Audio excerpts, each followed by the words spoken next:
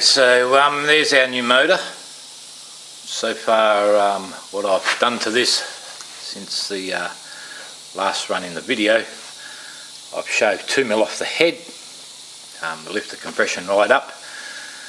We're probably close to 13 to 1 now by measurement.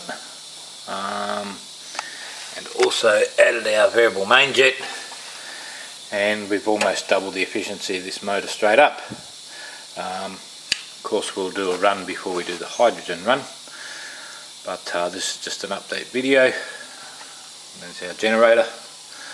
Um, the load, I've added an extra coil here. This load at 3000 RPM is very close to half a kilowatt so quite substantial. Um, and also our hydrogen or HHO setup is um, pretty much all ready to go. I just have to make a uh, bubbler now before we go into the motor and then um, make up the manifold for the motor to take the gas.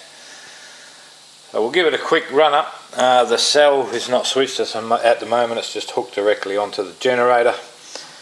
Um, I'll turn the load off, which is that.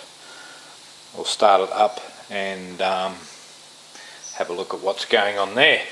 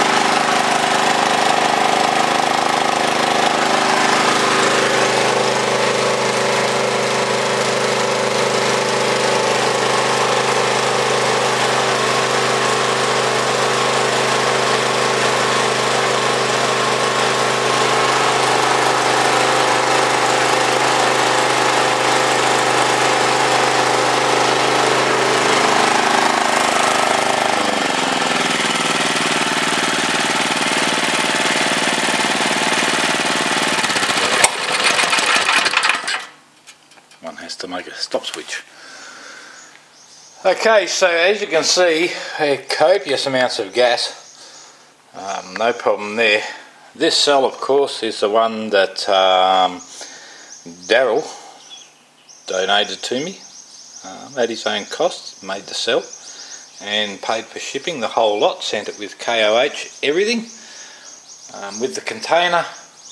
So um, of course, once again, that's much appreciated, Darrell. This uh, cell has been put to use once again to uh, solve the claim.